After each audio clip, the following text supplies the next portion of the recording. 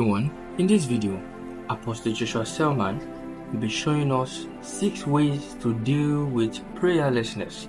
Stay connected with us and be blessed. Um, do you know, do you know, please look up, do you know the average believer prays largely to ease the guilt of looking like an unserious Christian.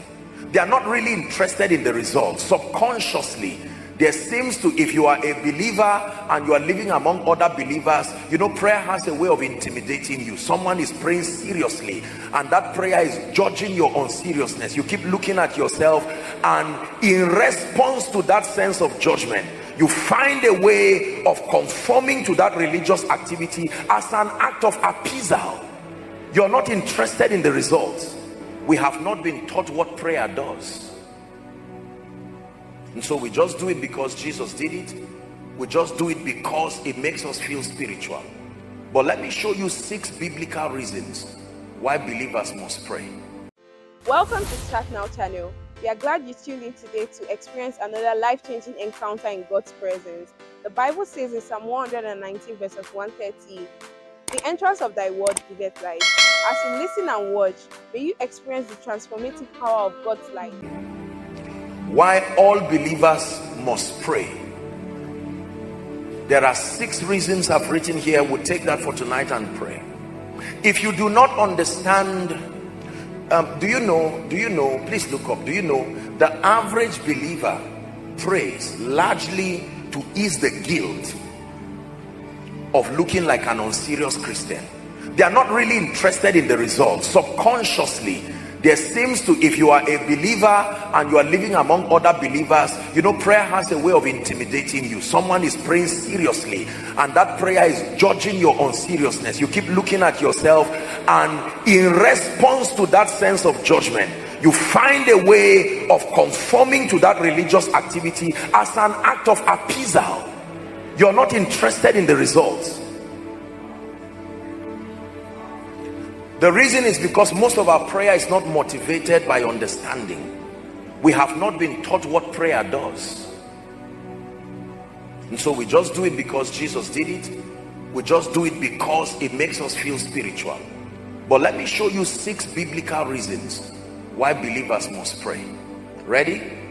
Number one, the first reason, and those of you who are following from your homes, from every nation please do well to write it down so that you can teach others too. We need to mature the body by helping them understand what prayer does. The first reason why we pray is that God commanded that we pray. It is a command. Two scriptures Luke chapter 18 and verse 1 popular scripture. I use it a lot when teaching especially around the subject of prayer. This was a parable now in his earth work jesus used a lot of parables. Why? Because his listeners were not spiritual people. They were not regenerated. Their organs of interacting with the realm of the spirit had not been developed through the ministry of the word and prayer. So he had to employ parables to help them explain how the kingdom works. And he spake a parable to this end. The moral of the parable is that men everybody say men men here doesn't just mean the male gender men humans that humans ought always to pray and not to faint. So it's a command. The whole idea of the story is to bring us to a point where we understand the power and the excellency of prayer. The bible says there was a city verse 2 luke 18 and verse 2 there was a city in a city a judge may you never meet this kind of judge in your life in jesus name. My apologies to those who are those of us who are judges and magistrates. I'm your friend. There was in a city a judge. Look at the description of this kind of man. The bible says which feared not god. That means it's difficult for god to speak to him. Number two he neither regarded man. You couldn't bribe him. You couldn't come and beg what sort of a man is this? So this is sin one. And then sin two the bible says there was a widow. A widow is a supposedly a defenseless woman. her source of security and defense has been taken away from her. He's teaching you the power of prayer. And then the bible says she came to him that man avenge me of my adversary verse 4 the bible says he would not for a while but afterwards he said within himself my god. That means there's something prayer does even to the most hardened situation. If you pray with time there is an energy that prayer exerts that begins to change even the most impossible situations. It says though i fear not god so the man is aware. He's aware of his condition it's not just that the writer is telling lies. The man is aware. He's testifying here now that even though i do not fear god nor regard man verse 5 it says yet because this widow troubleth me. So there is something that prayer does to situations and circumstances. I will avenge her lest by her importunity or the Bible says her continual coming she weary or weaken me. This is an illustration to show you what prayer does in the realm of the spirit. That no matter how weak and defenseless you are if you can engage prayer consistently that it can do something in the face of situations and circumstances. Prayer is a command. Once you are a man if you are an angel and you are a spirit you don't need to pray. But provided you are wearing this material body the bible mandates that we pray. First thessalonians 5 and verse 17 second scripture for that point. Let's hurry up. First thessalonians 5 and verse 17 apostle paul is speaking to the church in thessalonica and he says pray without ceasing. The word pray without ceasing does not mean pray from morning till night every day. You do that you become an irresponsible man. You will not be able to fulfill other things. The idea here is be consistent the power of prayer is not just in the activity but the consistency. Pray without ceasing. Number two why should we pray? According to first corinthians chapter 14 and verse 2 the bible recommends prayer as one of the strategies for fellowship with god and fellowship with heaven. The bible says in this case speaking about praying in an unknown tongue it says for he that speaketh in an unknown tongue speaketh not unto men but unto god. Now there's no time to contrast this with what the bible calls diverse kinds of tongues. There are two different experiences. When we come to the series on the holy spirit then we touch the gifts of the spirit. Then i will teach you this. The bible um, creates a dichotomy between what it calls the, the gift of diverse kinds of tongues and the prayer language that was given to all believers. This has been an age-long controversy in the body of christ as to whether it is all men that pray in tongues. Like all the other nine gifts um, the gift of diverse kinds of tongues is not given to everyone but the prayer language it says for this promise is unto you and to your children and to your children's children as many as are far off even as many as the lord will call. When you read all through the books of acts every time the holy ghost came it came on all of them. No reservation. They were all filled with holy spirit. They began to speak. Whether it's acts chapter 2 whether it's acts chapter 6 to 8 whether it's acts chapter 19 the most classic sign or the most classic defense of the baptism of the holy spirit with the evidence of speaking in tongues is found in acts chapter 19 maybe we just look at that very quickly just to clear the air on that. Verse 1 the bible says paul having passed through the upper coast the bible says that um he came to Ephesus and then he found certain disciples. Follow the discourse. Verse 2 he said unto them have you received the Holy Ghost since you believed? And they said unto him we have not so much heard whether there be any Holy Ghost they were disciples. So you see there was something about their teacher. Their teacher was not teaching them something. They said in our lecture we've not received this. We don't even know that there's anything called the Holy Spirit. Surprised now he said unto what then were you baptized? And they said unto john's baptism. Now the lecture begins. Verse 4 he said john's baptism. Verily verily john baptized with the baptism of repentance saying to the people that they should believe on him who should come after him that is on christ. Verse 5 when they heard this they were baptized in the name of the lord jesus the miracle now. And when paul had laid his hands on them the holy ghost came on them and they spoke with tongues and prophesied. The bible tells us their number verse 7 the bible says and all the men were about 12 and they all received. So i just thought to bring this in. We have a separate series where we'll deal with that. Praise the name of the lord. But just for you to know that when we talk about the prayer language of tongues we're not talking about the gift of the diverse kinds of tongues. Are we together? Fellowship with god. When you begin to pray in the spirit it brings fellowship in fact the bible says the grace of our lord jesus christ the love of god he says the fellowship. That's where we get the word koinonia the sharing together the participation of the spirit. He says let it abide with you let it remain with you let it be with you. When you fellowship with god, with god you fellowship with the spirit there is a divine deposit that comes from god into you. A transmission of power wisdom grace every spiritual virtue that makes for your excelling. Fellowship is very important. Are we together? It is one of the tools for fellowship. Number three why does the bible mandate that we pray? Prayer is one of the authorized platforms for growth and for transformation prayer is one of the authorized platforms for growth and transformation.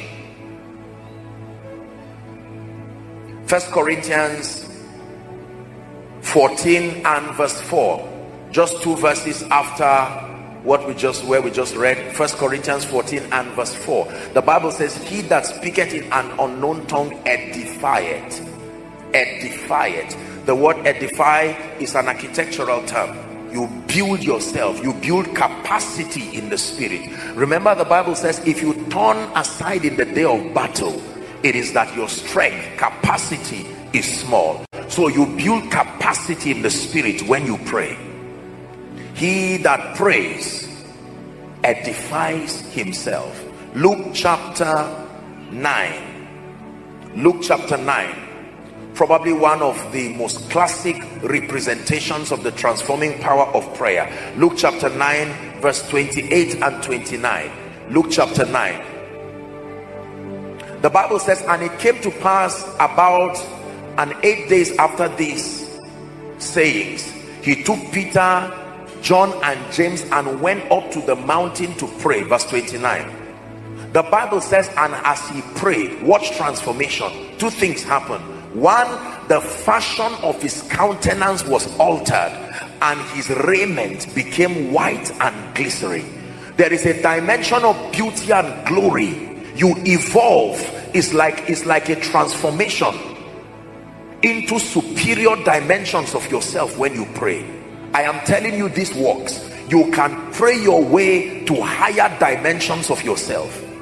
Growth and transformation bring for me a weak believer timid completely ignorant but with the heart that is bent on prayer i show you a sign and a wonder just a few months and a few years later. Let one day become one week become one month become one year become three years become five years and i show you a sign and a wonder. Was it not paul himself that says i thank my god i pray in tongues more than ye all are we together? I hope god is blessing us. Say amen, amen. it's very important that we pray. Growth and transformation is impossible for a believer if you do not pray. Now you see for many believers prayer is simply a tool for petitions and for receiving not transformation. The primary assignment of prayer I'll be teaching as as we proceed in the series. The primary assignment of prayer believe me is not for breakthroughs for miracles etc no. Most of the breakthroughs that we need we even need them in the first place because of ignorance of the principles of the kingdom. Remember the bible says when you are praying pray that your kingdom come because when his kingdom comes there are many things you will not need to ask for again because of the presence of the kingdom. Most of the miracles that we seek today are acts of god's mercy correcting our ignorance. So if you understand the kingdom and the ways of god your prayers will largely be that of fellowship and growth not just petitions. Because the accuracy of your understanding will bring triumph after triumph result after result in your life is that true? God's desire is not for us to live in the realm of what we know to be miracles, signs, and wonders. They are supposed to be um, a thing of wonder to unbelievers largely. But to we who are in the kingdom, miracles help to escort us to the place where we get to maturity and accuracy in the spirit. Now we begin to live by the mysteries of the kingdom. Growth and transformation show me a believer who engages in prayer. For many of us our prayer is not systemic it's not methodical it's haphazard. If you are fortunate to wake up early in the morning good for god and good for you that day you can at least steal out 30 minutes quickly and feel spiritual and then backslide in a very very bad way until after one month or when situations wake you up. Then you quickly catch up. You ask for forgiveness you repent and then you start again. Do you know that even in the secular mastery is gained through consistency? Ask anybody who leads his field in the secular. You do not become a professional in anything by just freelancing and shadow boxing and getting your way. You have to invest your time your energy your resources in ever increasing dimensions to attain mastery. Consistency growth and transformation. You must get to a point where you see the relevance of prayer. You discipline yourself. You get up in the morning this is the day the lord has made. You're praying you understand edification.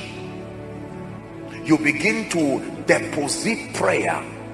I'll be teaching us as the series proceed that prayer is one of the mysteries that is not bound by time. That means you can send it to your tomorrow to wait for you. Prayer is powerful. Yes sir. Your prayer can be like an usher like a protocol. You send it into your tomorrow to verify that the road is clear before you arrive. If for any reason it goes there and find demons attempting to go ahead.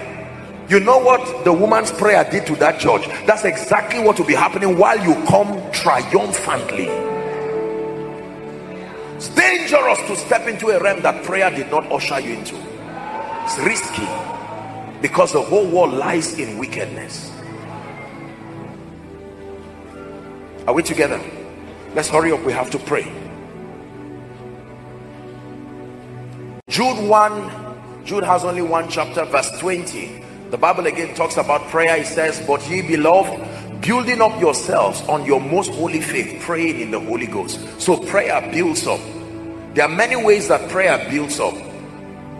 It builds up by activating your organs of interaction with the realm of the spirit. So when you begin to pray what happens to you is that your discernment and sensitivity is activated. You can know then you come into dimensions where people like Papa now begin to talk about the knowing of the spirit where you can know things. Even though your eyes may not see angels but you can know they are here. And at first when you start in the school of prayer it will look like you are lying. But the accuracy and the predictability of your results will convince you eventually that that faculty of perception is not a lie. You will know you will perceive danger prayer is powerful. It brings you to a point where you are able to interact that duality of realms. You are human yet you are spiritual. You can be in a place and yet perceive spiritual realities. Number four. The fourth reason why we pray in this kingdom is as an instrument for warfare and intercession. Yes sir warfare and intercession.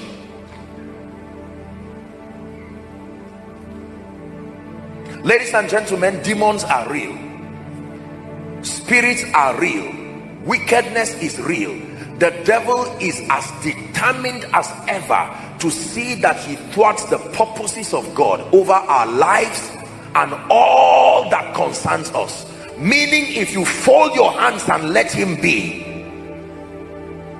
he will shred your life and destroy your family and everything that pertains unto you. But there is a provision in our dealing with God where believers can take advantage of the forces of the spirit that were all brought as a result of the finished work of Christ. And through this mystery we call warfare and intercession we can engage and establish these realities in our lives here and now warfare and intercession is very powerful. James chapter 5 and verse 13 Apostle James now is teaching us. James 5 and verse 13 the Bible says is any among you afflicted buffeted. Is any among you in a situation that is unpleasant? Is many among you seeing the handwriting of Satan over your children your life your career your business? Don't explain it away using science or sociology. It says the moment you find affliction the solution is let him pray. We do every other thing but prayer. We discuss with people who do not have the maturity nor the might to help us out of that situation. And yet we do not pray. Is any among you afflicted? It says let him pray. For time's sake we may not read on but when you read down to 18 it uses elijah. It personifies an individual called elijah that he was a man of like passions but he took the tool of prayer and literally stopped rain physically not a parable over a territory let me tell you this. Elijah was not the only one who believed in the god of the bible. And i'm sure there were people who said god don't mind him. We command rain to come. And yet rain did not come. Because a man had authority to prayer. And god respected his authority. Regardless what you were saying that day you will keep talking. If elijah did not speak rain would not come. May god give us that kind of authority. That you can stand and speak over your family and said this year you all rise and go to bed. It doesn't matter who is talking after you. He spoke too late. You have declared. Let all the enchantments and all the divination speak. Not the one that you pray and then you go and lie down and say what are they saying now? No. Elijah's authority when he declared it he said i know god. He went to bed. There were other prophets under the custody of obadiah i'm sure someone would have been annoyed and say what an arrogant man. God bring rain to show this man he's not the only one. And god said no it doesn't work like that. When you ascend in this spirit and you have authority you will do wonders with it. He prayed for a space of three and a half years. There was no rain. And then to show you it was not luck he went again and did the same thing and rain came. Hallelujah warfare and intercession. It was on the strength of prayer in acts chapter 12 when you read from verse 1 to 17 the bible says peter was bound hand and feet in chains. They were preparing to kill him but the bible says verse 5 that peter was kept in prison but prayer was made without ceasing. That's paul's encouragement now of the church unto God for him. Believe me when I tell you prayer is powerful. They began to engage the realm of the spirit. Suddenly the Bible tells us that an angel came. The angel was always available. Peter would have died without that angel coming and yet the angel was available. Somewhere in this series we'll talk about the ministry of angels because most believers do not know anything about the ministry of angels the bible says their assignment is to walk in partnership with the holy spirit to see that the word of god is never called a lie in your life. That's the assignment of angels. They are enforcers that means when there is nothing happening from your end they keep loitering around. Did you know that one of the ways that satan knows god is doing something with you is through the activity of angels in the realm of the spirit? A prayerless believer does not have angelic activities. What are they doing? When satan begins to sense unusual angelic activities he was once there so he knows. Uh-uh. these angels don't come for nothing. They are coming in response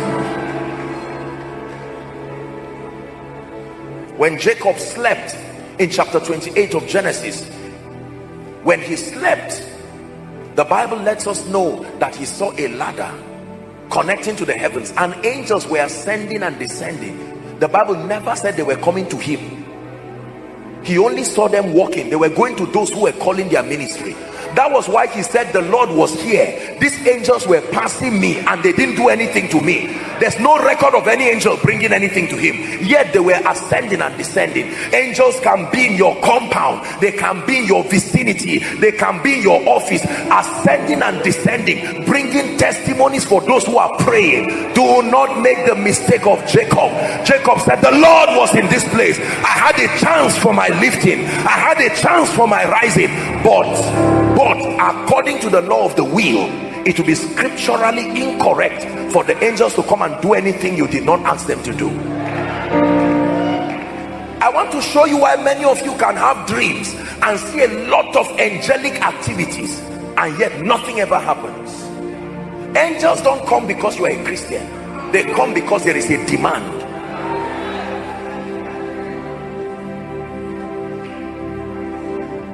Jesus kept speaking he sent prayer to his future. After three days I will rise. It was not an information. After three days I will rise. Uh, when it was the third day God said you had the prayer. An angel came rolled the stone and sat on it. Let me tell you if Jesus kept quiet and never said anything you would have been surprised what will happen after three days. The body would not decay but you will not come out either. Let the redeemed of the Lord say so. Believe what I'm teaching you is why many people do not rise. They come under strong influence of angelic activities, but they are silent.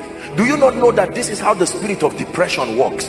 The assignment of the spirit of depression is to use obstacles to reduce you to a point of silence.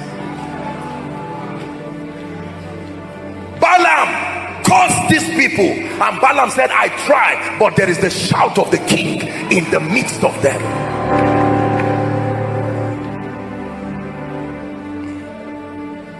These are the mysteries that give us power and dominion in this kingdom. When you pray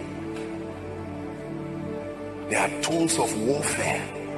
You don't fight you only activate the laws that make warfare to be a reality. So what we call warfare is not you fighting. What we call warfare is you authorizing the host of heaven angel armies. My brothers and my sisters you do not one angel two angels use hailstone. Is it in your bible? When an angel stones you will you be alive? Look at the bible. These things were not parables they actually the angel appeared and told joshua joshua removed his sword. Do you know why he removed his sword? Because god gave him a word. No man will be able to stand against you. So when the angel came he said who are you? And the angel had to answer because the word of god was in on him. If that angel kept quiet he would have been surprised. It was not the knife. Joshua said god told me something. Who are you? And the angel had to say no no no hold on it is true. Believe what i'm telling you. Don't play with what god has told you. You can take it to battle. Oh he told me that i am victorious. Oh yes i believe it. This is not some pentecostal jargon. It is true. We believe you were blessed by the message you just watched. Let us know what stood out to you in the comment section. You can also support our channel by liking and sharing our videos so more people like you will be able to watch these powerful messages. We celebrate you and see you in our next video. Thank you.